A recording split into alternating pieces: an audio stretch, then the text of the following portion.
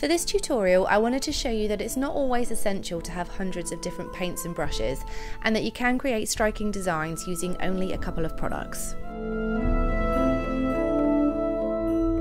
I've chosen to use a dark red colour and all I'm doing is placing a mixture of teardrops and curls around the outside edges of my eyes.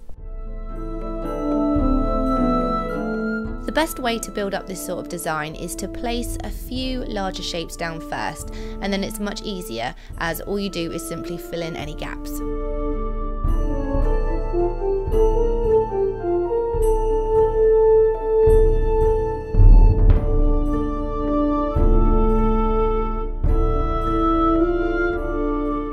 To give your design a nice flow, you want to make sure that all of your lines are headed towards the same point. You can see that all of my shapes are pointed towards the very top of my nose.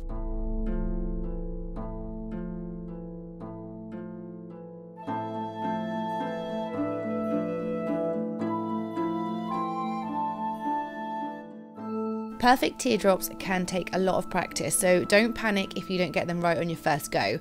The easiest way to paint a really sharp point is to only use the very tip of your brush and flick it outwards on the end.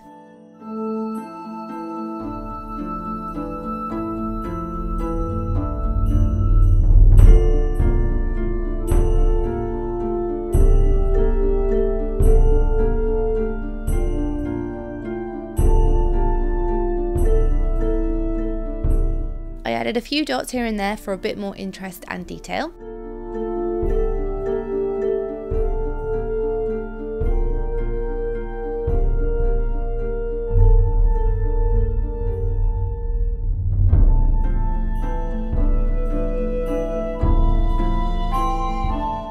And then once I was happy with the design, I did exactly the same thing on the other side, being really careful to get it as symmetrical as possible.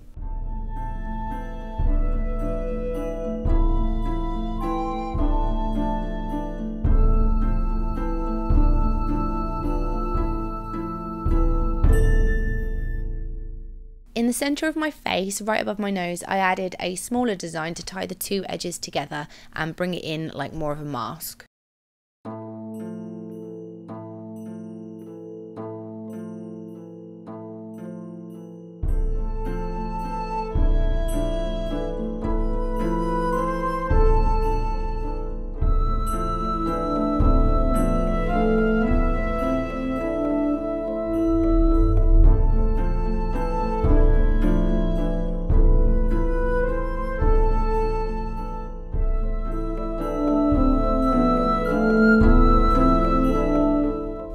I took a product called Glitter Mark, which is a very fine glitter suspended in a gel.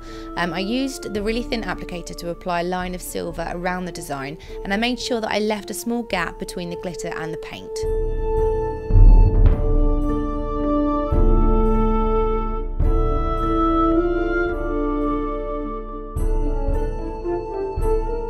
The thing I love about using a glitter gel is that you can be really accurate in your application and get it exactly where you want it. Unlike when you use a loose glitter, um, if you put too much of that on, you can sometimes smother your line work and dilute your design a bit.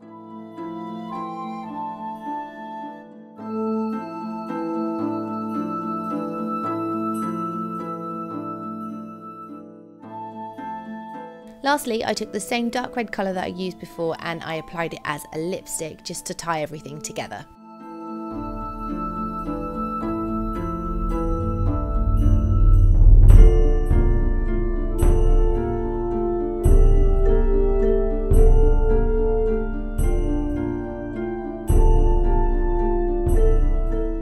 Although this design isn't a true tribal, I think that the softer edges and lines do work really well. And also if you're looking for something for Halloween, then you could change up the colours, put a pair of wings with it, and I think you'd have a really cool fairy.